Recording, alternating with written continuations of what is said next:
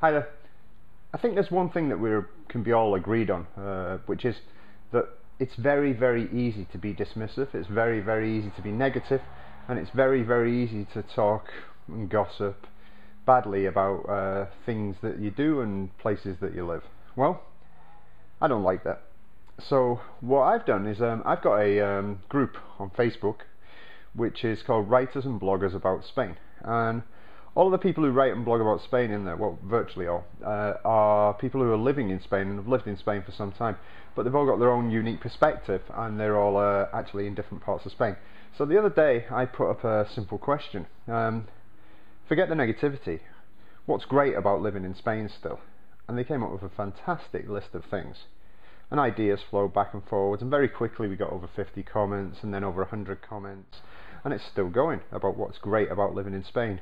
And a lot of them are little things the, the little things that you you really don't think about on an everyday basis but are so important. So what I'm going to do is um, going to present this next week. Uh, we're going to put together a whole blog post and give you the names of the people so that you can follow them online uh, whether that be on Twitter on Facebook or whatever. And um, or on their own blogs. And when you do it, you'll see that forget the negativity. There's plenty of negativity everywhere. Yeah, um, news doesn't sell if it's not negative in general, but there are still great reasons for living in Spain. And more and more clients of mine, for example, are finding that out. Um, honestly, I've never been so busy. It's been a long, long time since I've been this busy with clients.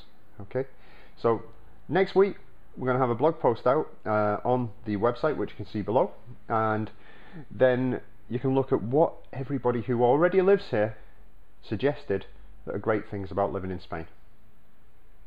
Look forward to seeing it.